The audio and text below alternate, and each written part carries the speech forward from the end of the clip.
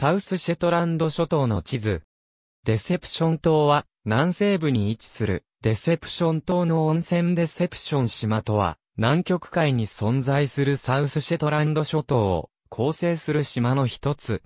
南極半島の近海に連なる島の一つである。南緯62度57分、西経60度36分に位置する。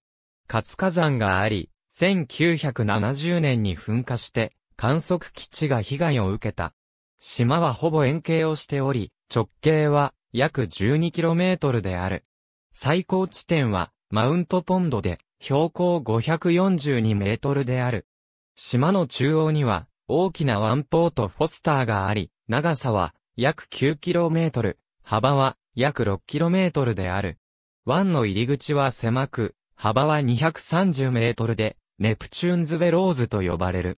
ネプチューンズベローズから内側に入ったところには、ホエラーズベイがあり、そこは黒い砂浜になっている。火山の影響で地熱が高い。熱のため、雪が溶け、南極付近では珍しく地表が剥き出している。またディセプション島は、ペンギンの繁殖地としても知られている。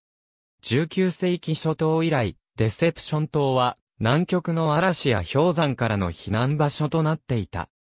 最初は、アザラシ狩猟者、1906年には、ノルウェーとチリの捕鯨会社が、ホエラーズベイを、ファクトリーシップの基地として使用した。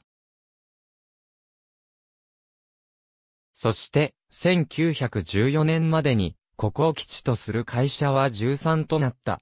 南極付近で唯一の温泉が湧き出ている。世界最南端の温泉でもある。